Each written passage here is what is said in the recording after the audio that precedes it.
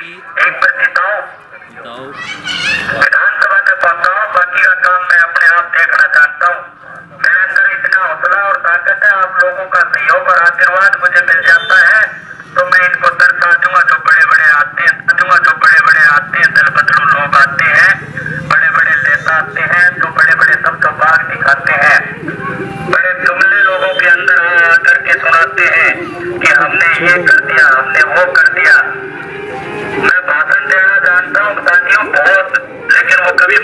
तब सुनना तब आपको मौका मिलेगा मुझे सुनने का। तो मैं आप लोगों सच्चा वाक्य न्यूज़ को सब्सक्राइब करें और घंटी वाला बटन ज़रूर दबाएँ ताकि हर खबर मिले आपको सबसे पहले। मैं संदीप सिंह पखाड़ा एसवी न्यूज़ इंडिया सच्चा वाक्य जैसा कि आपको पता है, हमारी चुनावी यात्रा चल रही है। उसी चुनावी यात्रा के दौरान आज हम खड़े हैं हिसार के कहें या नलवा हलके के कैमरी गाँव के अंदर।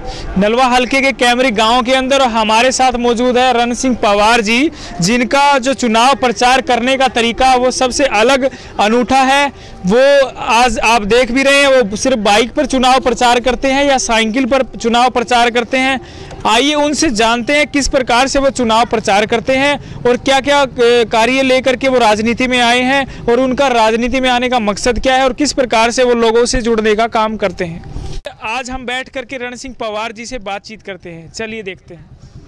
तो रण रण सिंह पवार जी, हमने आपका जो चुनाव प्रचार करने का तरीका है, बहुत ही अलग है, सबसे हटके है। वो हमने देखा भी है, हम, आप बाइक पे भी चुनाव प्रचार करते हैं, रेडियो लगा करके, और जो साइकिल पे भी चुनाव प्रचार करते हैं, और खुद खुद खड़े होकर रेडियो पे पर, प्रचार करते हैं। इसके बारे में आप क्या कहेंगे? देखो, जितने भी उम्मीदवार चुनाव लड़ते हैं बड़ी बड़ी पार्टियों से आते हैं उनके पास में जो जनता का पैसा है वो उनके पास होता है क्योंकि वो सत्ता में रहे हैं। उन्होंने जो जनता का बजट था वो अपनी तिजोरियाँ भरी है।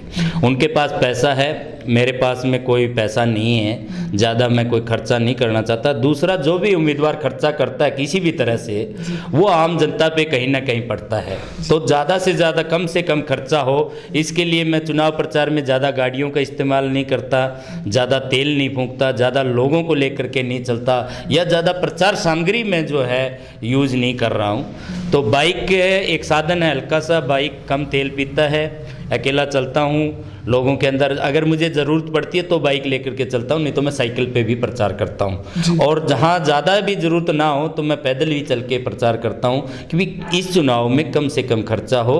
और ये भावना भी बने और लोगों भी को भी जानकारी मिले कि भी पैसे से चुनाव नहीं लड़ा जाता। व्यक्ति के अंदर अगर वो गुण है आपकी सेवा करने का आपकी आवाज़ उठाने का तो आपको जिताया जा सकता है। पवार साहब एक बात और जानना चाहेंगे कि आपने राजनीति में आने का और विधानसभा चुनाव लड़ने का जो निर्णय किया वो क्यों किया? देखिए सर हम आम जनता के जनता से उठ के राजनीति में आया हूँ तो हमने देखा है कि लोगों को जो हक मिलना चाहिए वो हक मिल ही नहीं रहा। गली नाली और धर्मशालाओं में लोगों को जो है ये लोग जो राजनीति के लोग हैं सरकार में बैठे लोग हैं ये बुलाते रहते हैं कि तुम्हारी नाली बना देंगे तुम्हारी धर्मशाला बना देंगे गली बना देंगे। जो और मूलभूत आवश्यकताएँ हैं उनको पूरा नहीं कर पाते। तो लोगों को जो हक मिलना चाहिए जो भागीदारी हर चीज़ में मिलनी चाहिए वो नहीं मिल पाती। तो मैं उन उस भागीदारी को सुनिश्चित करने के लिए भी लोगों को जो हक मिलना चाहिए उसको आ, सुनिश्चित करने के लिए ही राजनीति में आया हूँ कि वे आम जनता को जो है उनका हिस्सा मिलना चाहिए। अगर आम जनता टैक्स देती है हर जगह से, हर चीज़ में, और उन्हीं का पैसा जो है, ठीक तरह से डिस्ट्रीब्यूट नहीं होता, ठीक प्रकार से सही योजनाओं में लगाया नहीं जाता तो उन पैसे का सही इस्तेमाल हो, आम जनता के अंदर विकास पैदा हो, विकास हो तो इस बात को लेकर के मैं राजनीति में आया हूँ।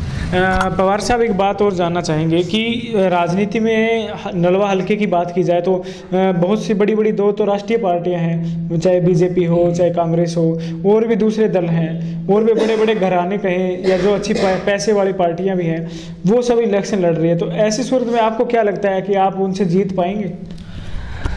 मैंने ये बात आपको सब पहले ही कहा है कि भी बड़ी बड़ी गाड़ियों से बड़े बड़े जुमलों से बड़े बड़े सपने दिखाने से आम आदमी चुनाव नहीं जिताता। उन लोगों को विश्वास होना चाहिए अपने उम्मीदवार में कि ये आदमी जो हम चुनाव में वोट देने वाले हैं जिसको जिताने वाले हैं वो अपने आपकी बातों पे खरा उतरेगा। इन लोगों को देख लिया बड़े बड़े घरानों से जो कैंडिडेट आए हैं, पहले भी आए थे और अब की बार फिर जो चुनाव लड़ रहे हैं, इनको लोग देख चुके हैं। इनके जुमलेबाजों के जो बातें हैं, वो सुन चुके हैं। तो अब जो है, मैं आया हूँ तो मुझे बहुत सहयोग मिल रहा है। लोगों के बीच में रहा हूँ, लोगों की जन सेवा के कार्यों में भी बड़ी भागीदारी मैंने दी है। तो अब जो मुझे पूर्ण रूप से पूरे हल्के के अंदर नड़वा हल्के में पूरे वर्गों से किसी भी हर वर्ग से जो है पूरा सहयोग मिल रहा है। और जीत के कगार पे हैं और ये नड़वा हल्का पूरा जीत के ही रहेंगे। और दूसरा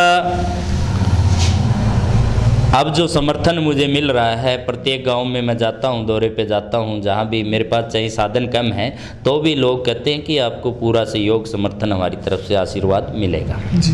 कहीं ना कहीं बात की जाए तो राजनीति के अंदर पैसे की पावर भी ज़रूरी होती है, क्योंकि जब तक आपके पास पैसा नहीं होगा तो सामग्री जुटाना और कार्य करना वो सब पॉसिबल नहीं हो पाता।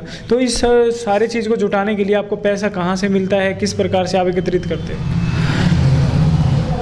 ये मानना पड़ेगा कि राजनीति में चाहे मैं कम ही खर्चा कर रहा हूँ, खर्चा तो हो ही रहा है सामग्री के ऊपर। लेकिन इसके लिए मुझे जो लोग हैं डोनेशन वगैरह भी कर रहे हैं डोनेट कर रहे हैं सामग्री भी उपलब्ध करवा रहे हैं चुनाव के लिए। और कह भी रहे हैं कि आप अपने कदम मत रोकिए आपको जो चाहिए जहाँ आम जनता जो है मुझे जो है सहयोग कर रही है। जो चीज़ मुझे चाहिए वो लोग मुझसे पूछ लेते हैं कि भाई आपको क्या चाहिए? तो वो लोग मुझे सहयोग कर रहे हैं लोग हर तरह आपको से। क्या लगता है कितने वोट आपको इस हल्के के अंदर मिलेंगे? देखो, चुनाव के अंदर मुझे समर्थन और मिल रहा है और बहुत ज़्यादा सहयोग भी मिल रहा है। लोग मुझे, मेरे जैसे कैंडिडेट को चाहते भी हैं कि वे इस, ऐसा व्यक्ति चुन करके मैदान में आना चाहिए। लेकिन ये नहीं कह सकते निश्चित तौर पे कि भाई हमें कितना वोट मिलेगा। वो तो आपको 24 तारीख को जब मतदान हो जाएगा 21 को 24 को काउंटिंग होगी, तब भी पता चलेगा सर। आज आपने विधानसभा चुनाव जो लड़ रहे हैं, पहले तो ये जानना चाहेंगे किन किन मुद्दों पर लड़ रहे हैं आप?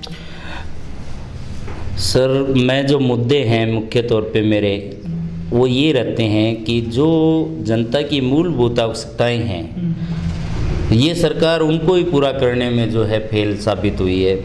अगर व्यक्ति के पास में सबसे बड़ा मुद्दा ये रहता है कि अगर रोज़गार व्यक्ति को मिल जाता है तो व्यक्ति अपने सारे कार्य उनसे, रोज़गार के माध्यम से जो आमदनी होती है, उससे जो है सारे काम अपने निकाल लेता है। लेकिन सरकार जो है अपनी नागरिकों को जो सरकार की जिम्मेवारी है, रोज़गार देने में पूर्णतः फेल है। दूसरी बात आती है शिक्षा की और स्वास्थ्य की। शिक्षा का जो दायरा है शिक्षा का जो मान लो भी जितनी होनी चाहिए नागरिकों के अंदर वो समान रूप से नहीं मिल रही है। अगर जब तक शिक्षा समान रूप से नहीं मिलेगी नागरिकों में समानता कैसे हम संभव हो सकती है? शिक्षित शिक्षा के तौर पे तो समानता आनी चाहिए। चाहे वह गरीब का बेटा हो चाहे अमीर का बेटा हो एक समान शिक्षा लागू होनी चाहिए सबके लिए। दूसरी बात है स्वास्थ्य की। चाहे वह गरीब है चाहे अमीर है अपने नागरिकों की पूरी जिम्मेवारी सरकार की होनी चाहिए।